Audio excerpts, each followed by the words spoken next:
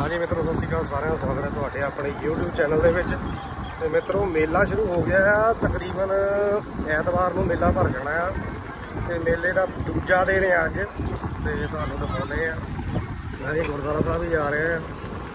ਤੇ ਮੇਲੇ ਦੀਆਂ ਤਿਆਰੀਆਂ ਜਿਹੜੀਆਂ ਹੋ ਰਹੀਆਂ ਭੰਗੂੜੇ ਭਗਾੜੇ ਲੱਗ ਗਏ ਆ ਬੱਚਿਆਂ ਵਾਲੇ। ਤੇ ਹੋਰ ਵੀ ਹੈਗੀਆਂ ਚੀਜ਼ਾਂ ਮੈਂ ਦਿਖਾਉਣਾ ਤੁਹਾਨੂੰ, ਬਣੇ ਰਹੋ, ਵੀਡੀਓ ਦੇ ਨਾਲ।